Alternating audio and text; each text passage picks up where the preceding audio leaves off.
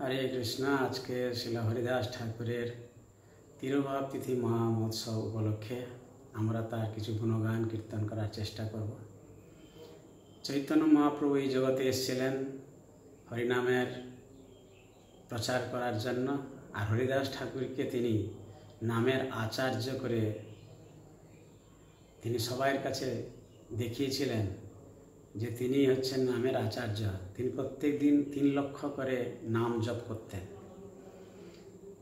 চৈতন্য মহাপ্রভু যখন ভগবান বৃন্দাবনে তিনি কৃষ্ণলীলায় ছিলেন, তখন এই ব্রহ্মা একদিন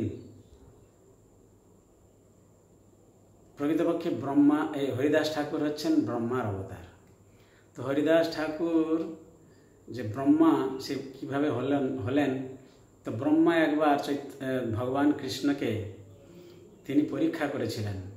কারণ তিনি দেখছিলেন যে ভগবান কৃষ্ণ তিনি গোপবালকদের সঙ্গে এঁঠো খাচ্ছেন, তাদের সঙ্গে ভোজন করছেন, তাদের সঙ্গে খেলা করছেন।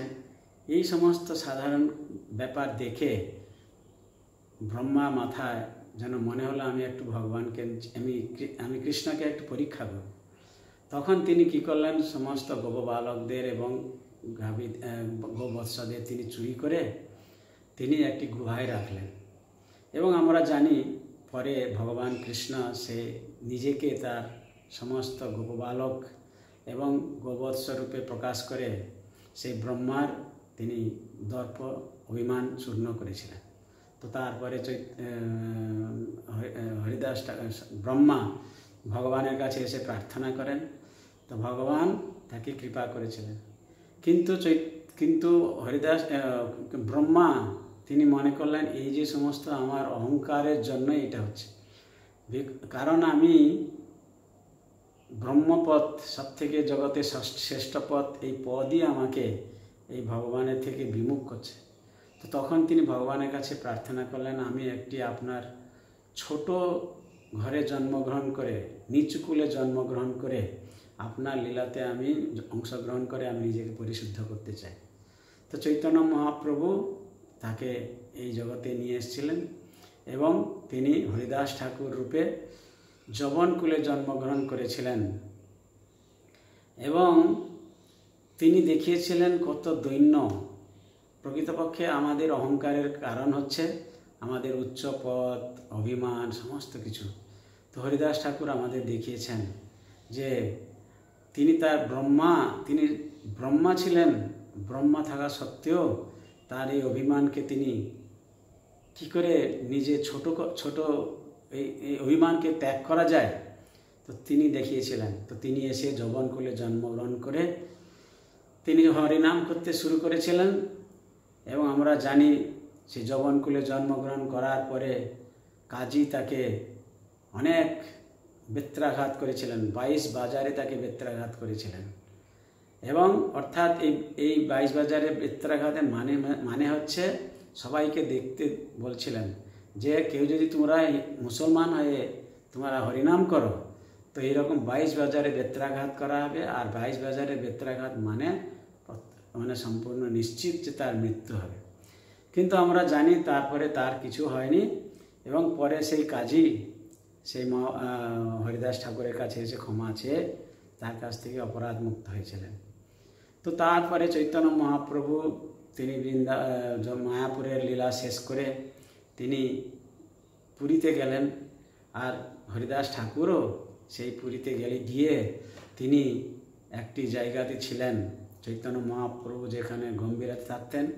তার কিছু দূরে, অনতি দূরে সিদ্ধ বকুল বলে একটি জায়গা ছিল সেই সিদ্ধ বকুলে তিনি অবস্থান করছিলেন।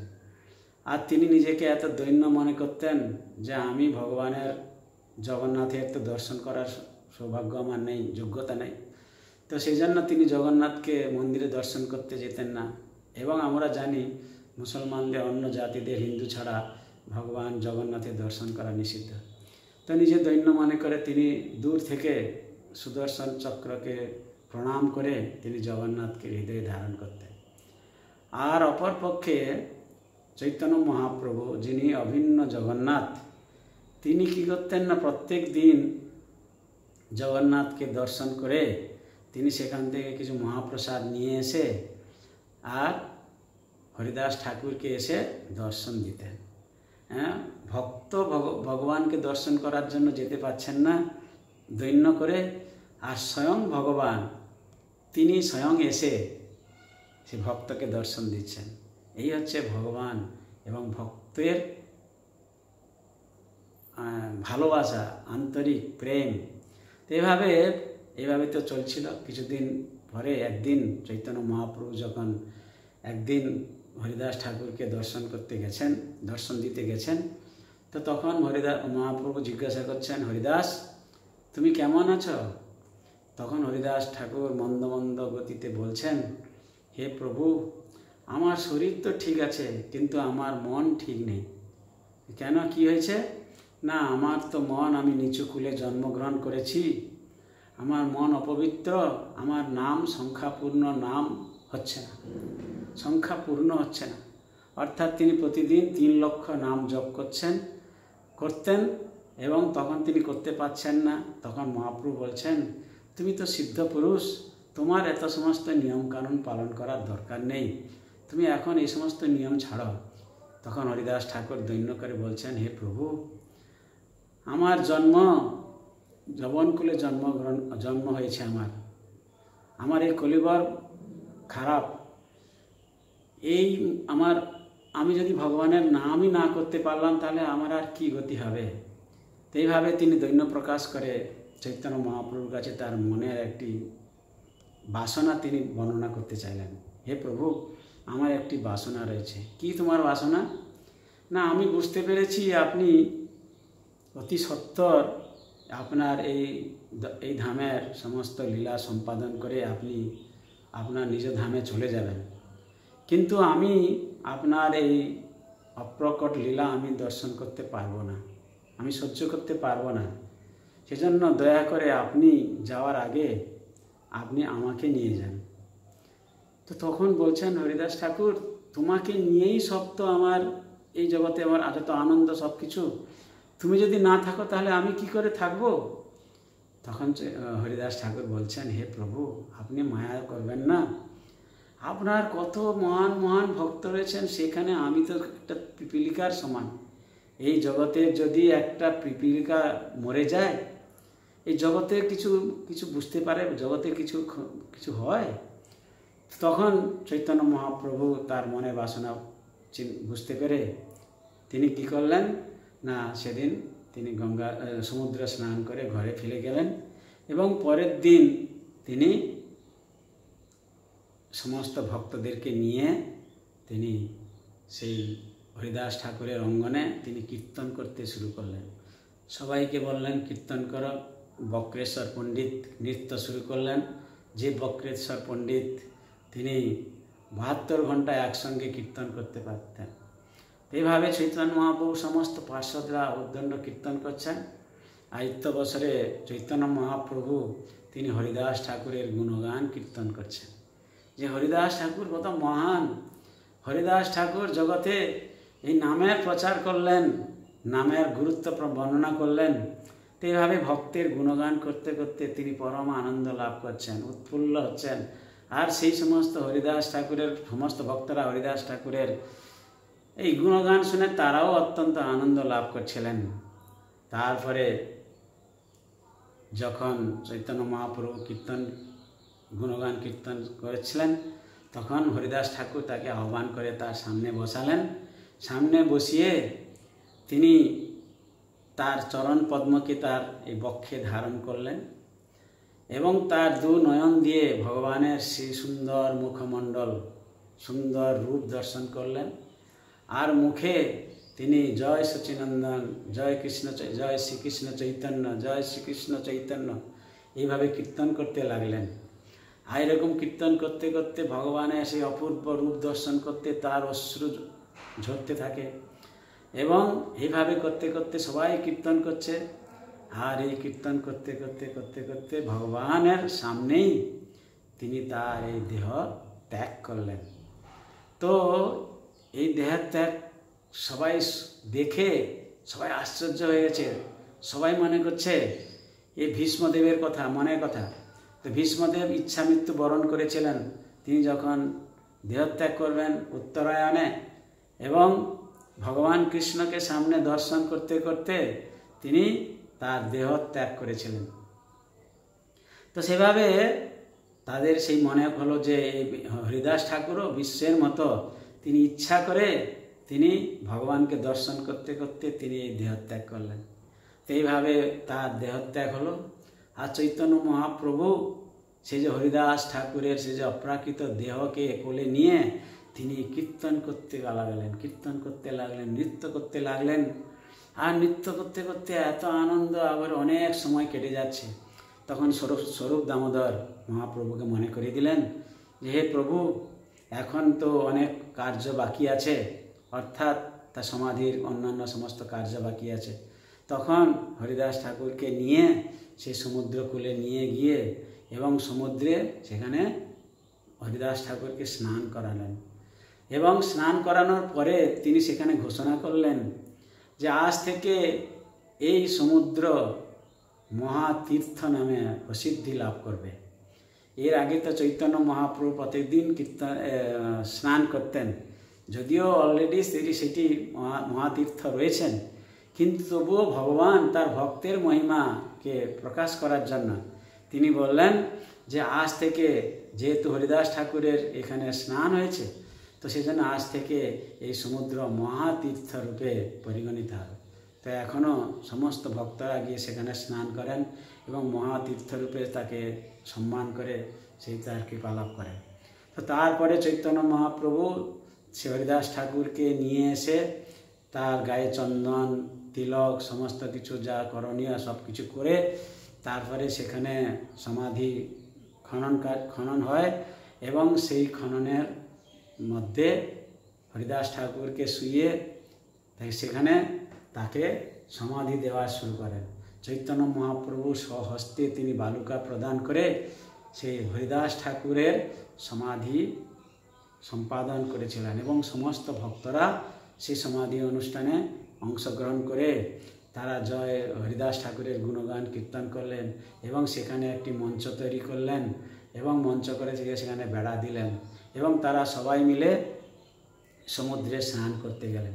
এবং স্নান করার পরে চৈতন্য মহাপ্রভু ফিরে এসে আবার সেই হরিদাস ঠাকুরের সমাধিকে তারা সবাই পরিক্রমা করে সেই জগন্নাথ মন্দিরের সিংহদ্বারে এসে উপস্থিত হলেন এবং মহাপ্রভু সেই সিংহদ্বারে প্রবেশ করে তিনি সেখানে সমস্ত যে ভোগ, আনন্দবাজারে ভোগ বিতরণ করার জন্য প্রসারীরা রয়েছে, তাদের কাছে তিনি ভিক্ষা চাইলেন নিজে যে আজকে আজকে হরিদাস ঠাকুরের তিরোদিন, তিরোভাব তিথি, তো সেজন্য আপনারা কিছু আমাকে ভিক্ষা দিন যাতে আমি এই মহোৎসব পালন করতে পারি।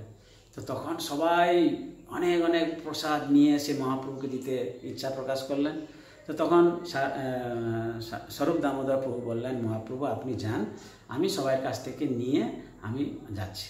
তো তখন চৈতন্য মহাপ্রভু চলে গেলেন এবং স্বরূপ দামোদর সবাই সবাইকে বললেন, আপনারা অল্প অল্প কিছু কিছু করে এক একটা আইটেম আপনারা দিন।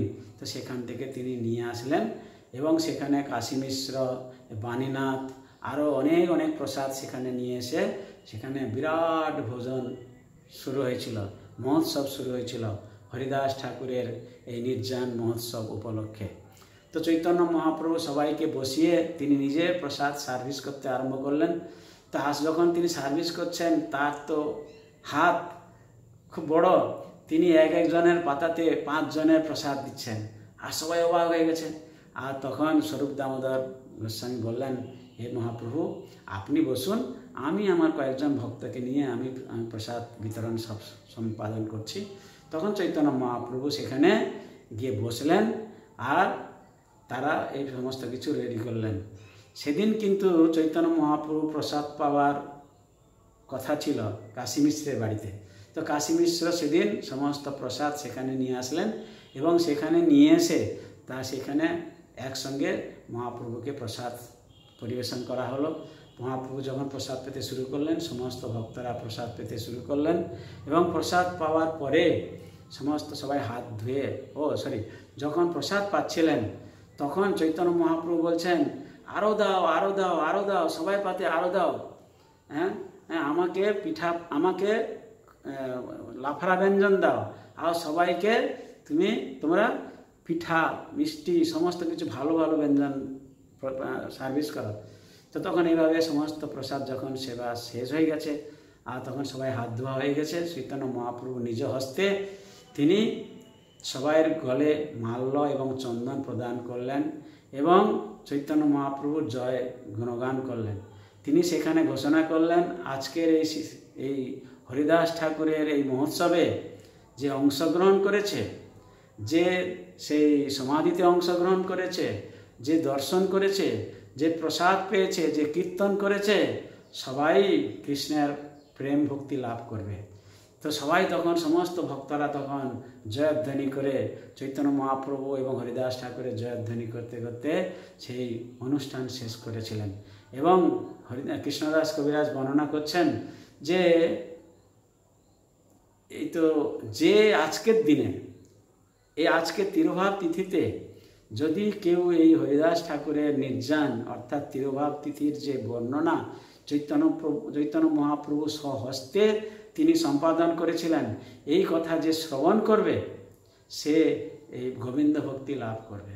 তো সেই জন্য আমরা চৈতন্য মহাপ্রভুর পরম প্রিয় ভক্ত হরিদাস ঠাকুর, যিনি যিনি যিনি নামাচার্য রূপে তিনি প্রসিদ্ধি লাভ করেছিলেন, চৈতন্য মহাপ্রভু তাকে নামাচার্য উপাধি দিয়েছিলেন। সেই হরিদাস ঠাকুর প্রত্যেক দিন তিন লক্ষ যা নাম জপ করতেন। এবং তিনি নামের মহিমা জগতে বর্ণনা করেছেন, গুণগান করেছেন। নামের যে এত মহিমা, সে আগে কখনো শুনেননি। তো এইভাবে ভগবান চৈতন্য মহাপ্রভু তার এক এক ভক্তকে দিয়ে তার এক একটি কার্য তিনি সম্পাদন করেন। তো সেজন্য আজকে আমরা এই শুভ দিনে চৈতন্য মহাপ্রভুর প্রিয় ভক্ত হরিদাস ঠাকুরের চরণে আমরা প্রার্থনা নিবেদন করতে পারি যে তার কৃপার ফলে আমাদের যেন ভগবানের এই অপ্রাকৃত হরে কৃষ্ণ মহামন্ত্র, নাম, গুণগান, কীর্তন, যেটি চৈতন্য মহাপ্রভু গোলকের প্রেমধন হরিনাম, সংকীর্তন নিয়ে এসেছিলেন আর হরিদাস ঠাকুরের মাধ্যমে প্রচার করেছেন, সেই নামের প্রতি যেন আমার আসক্তি হয় এবং আমরা যেন শুদ্ধভাবে হরিনাম করতে পারি, তার চরণে আজকে আমরা প্রার্থনা করব। জয় শিল হরিদাস ঠাকুর, কি জয়? শ্রীমান চৈতন্য মহাপ্রভু, কি জয়? হরিনাম সংকীর্তন কি জয় সমাবেত গৌর ভক্তবৃন্দ কি জয় নিতাই গৌর প্রেমানন্দে হরি হরি বল সবাইকে অনেক অনেক ধন্যবাদ